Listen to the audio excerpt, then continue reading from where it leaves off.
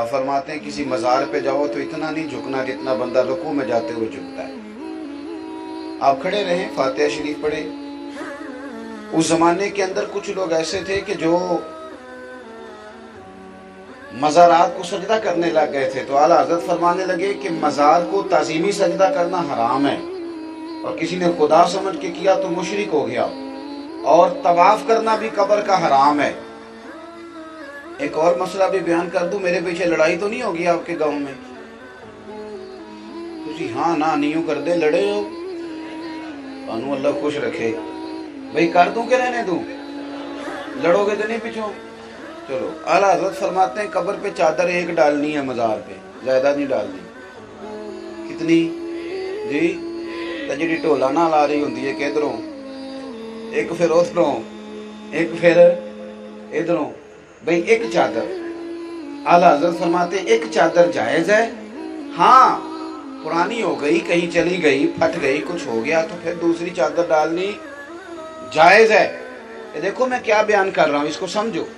आला हज़रत बरेलवी से किसी ने पूछा कि कब्र के ऊपर जाके कोई मिठाई, कोई चीज़ कब्र के ऊपर डाल दें जानवरों के लिए?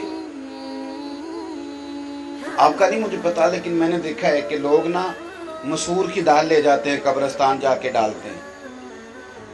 तो आला हज़रत से पूछा कि, हजूर, ये जायज़ है? आप फरमाने लगे, यहाँ डालने का मकसद ही कोई नहीं। एक रस्म है। हुजूर फिर क्या करें? फरमाने लगे, यही मसूर की दाल ले जाके यहाँ, जो चीज़ तुमने यहाँ डालनी है, वो किसी गरीब को दो, वो खाएगा तो अल्लाह मरने वाले को सवाब अता करेगा। तो वो जो लोगों में कबाहतें पैदा हो रही थी, मज़ार को सजदा नहीं करना चादर एक डालनी है। फरमाते चार हाथ कबर से दूर खड़े रह के फातिहा पढ़ना चार हाथ दूर और अल्लाह की जात के बारे में वो लफ्ज बोलने हैं जो उसके शयान शान हो। यह अल्लाह हज़रत की तालीम है। अल्लाह, कुछ लोग कहते हैं, अल्लाह मियाँ। कहते हैं ना, अल्लाह मियाँ बंदे ने भी आप छड़ देने अल्लाह हज़रत फाजिल से पूछा कि अल्लाह को मियाँ कह लें। तो फरमाने लगे, मियाँ के तीन माने। दो माने ठीक नहीं, एक माना ठीक है। तो आप फरमाने लगे, रब के लिए वो लफ्ज इस्तेमाल करना जिसके सारे मफाहिम ठीक इसके सारे माने ठीक लिहाजा, अल्लाह ताला कहो, अल्लाह जल्ला जलाल कहो, अल्लाह जल्ला शान कहो, अल्लाह सब जल्ला कहो। लेकिन अल्लाह मियाँ कहने की इजाज़त, और मेरी बातों की समझ आ रही है आपको? मैं बड़ी आसान करके बातें कर रहा हूँ, आप समझे। तो हम लोगों ने ये करना है कि हमने ये चीज़ें सीखनी है। अल्लाह मियाँ कहने क्या ज़रूरत है? अल्लाह ताला कहें, अल्लाह जल्ला जलाल हो कहें, अल्लाह जल्ला शान हो कहें। इन अल्फाज के साथ रह गई ये शायद। अब ये भी सारी रस्में हैं। वो पहले शादियों पे रस्में होती थी। अब मैं दोस्तों से अक्सर कहता हूँ कि महफिलों में भी होती। ये तो प्यार से कर रहे हैं, उम्मीद है। नीयत तबलीग दीन की होगी। अल्लाह ताला जजाय खैर अता फरमाए।